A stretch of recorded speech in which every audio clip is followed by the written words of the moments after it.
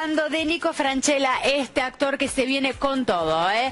¿Por qué? Porque está preparando una obra juntos a Selva Aleman y Sergio Zurraco. Exactamente, se trata de Madres e Hijos, dirigida por Luciano Suardi. Escuchemos entonces a Nico Franchella que nos contó más detalles. Para mí es un desafío, es mi primera obra. Eh, es un desafío por el personaje que tengo, por la historia. Celo Alemán, Sergio Zurraco, bajo la dirección de Luciano Suardi, eh, producido por Gustavo Yankelevich, en el multiteatro. A mitad de junio estrenaríamos.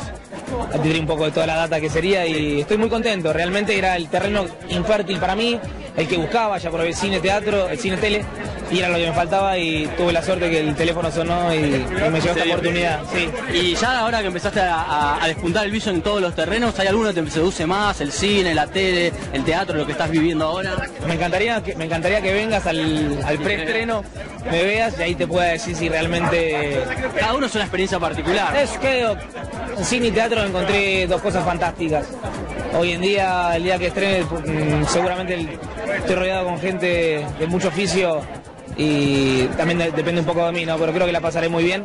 Y de ahí a definir qué, qué género me gusta más, no lo sé, pero ya seguramente con un poco más experiencia te lo puedo decir. Madres e hijos estrenan nada más y nada menos que en tres semanitas en el multiteatro.